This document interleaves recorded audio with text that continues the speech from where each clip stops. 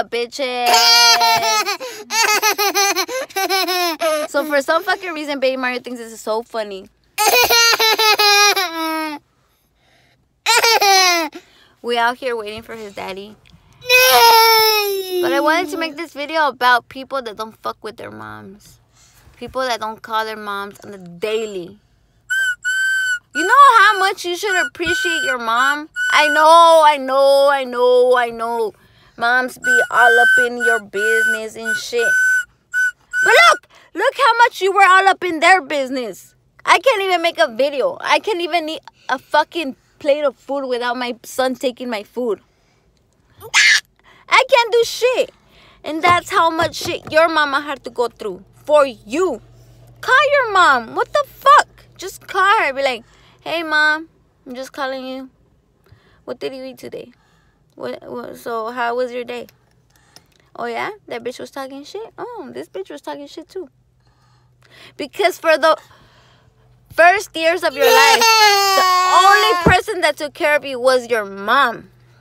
Oh yeah, some maybe there's some other stories where it was your dad, but whoever took care of you for the first years of your life until you became an adult. Okay, to whoever saw you grow, whoever took care of you, call that person. Call her.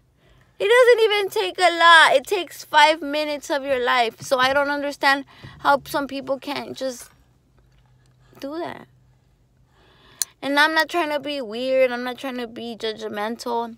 But just if if you're that type of person doesn't fuck with your mom, it's like the fuck are you doing with your life? Because God is first.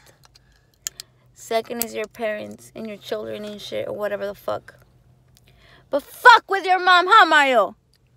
You have to fuck with your mama because she took care of you. ¿Verdad? Quesito. Mm, quesito. He answers to quesito because it's like besito, but since like I think quesito sounds funny, I always say quesito.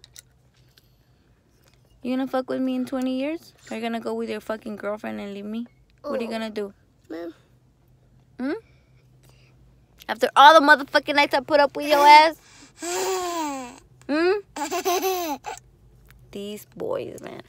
But anyways, you're watching this video after you're done watching this shit, call your mom.